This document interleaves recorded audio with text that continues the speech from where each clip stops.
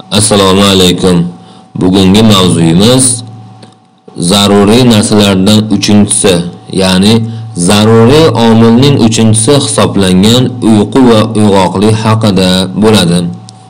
180-qoida Uyqu nafsoniy va hissiy quvvatlarning harakatlardan dam olishidir. 181-qoida Uyqu badanlarning ichini qizituvchidir. Shu bilan kishi taomni yaxshi hazm qiladi. 182-qoida Uyqu agar haddan oshsa miya qorinchalarini xiltlar bilan to'ldirib yuboradi. Miya qorinchalari degani miyada o'ziga xos bo'lgan 4 ta qorinchadan tashkil topgan. Bu qorinchalarda suyuqlik to'planib turadi.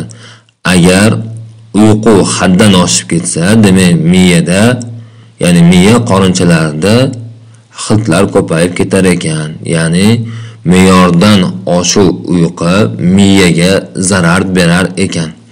183-qoida Uyqu badanlarga rutubat beradi yoki ularni bo'shashtiradi va ularni barhayot qilib turgan haroratni o'chiradi. Ya'ni insondagi Xudo tomonidan berilgan issiqlikni o'chirar ekan. Tug'ma issiqlik deyiladi. Bu demak shu tug'ma issiqlikni o'chirar ekan.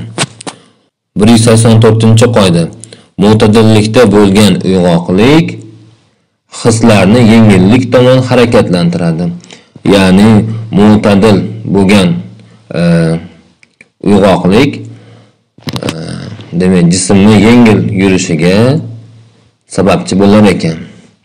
Yana aytadilarki 185-qoidada ishlarda ishlarda quvvatni qo'zg'atadi va badanni chiqindilardan tozalaydi. Xo'p, 186-qoida uyg'oqlik uzayib ketsa deyaptilar. Ya'ni uzoq vaqt uxlamay yursa deyaptilar.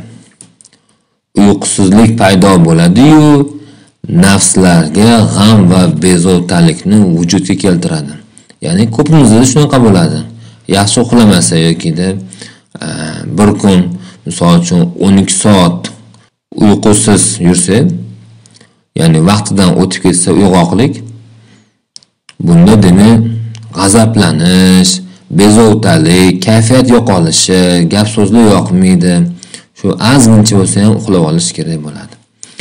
Э, 187-qoida uyg'oqlik uzayib ketsa, ruh va badanni ozdiradi, yuzdan husnni buzadi deb aytayaptilar.